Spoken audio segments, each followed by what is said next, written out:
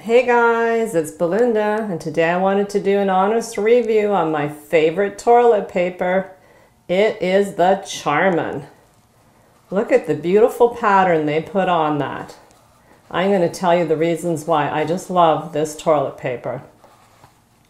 First off, it comes with the easy to tear. Look at that wavy tear. So it's soft on our tush. It's so soft, I even use it on my nose. And you all know when you're sick what it feels like to put anything on your nose because there's no hard edges. This toilet paper is super soft and it's got little grooves to clean you up even better.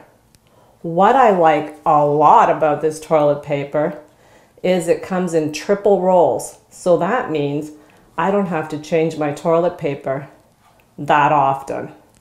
So that's one thing that won me over right at the beginning. It lasts longer. It's super soft, easy tear, and the cleanup's wonderful.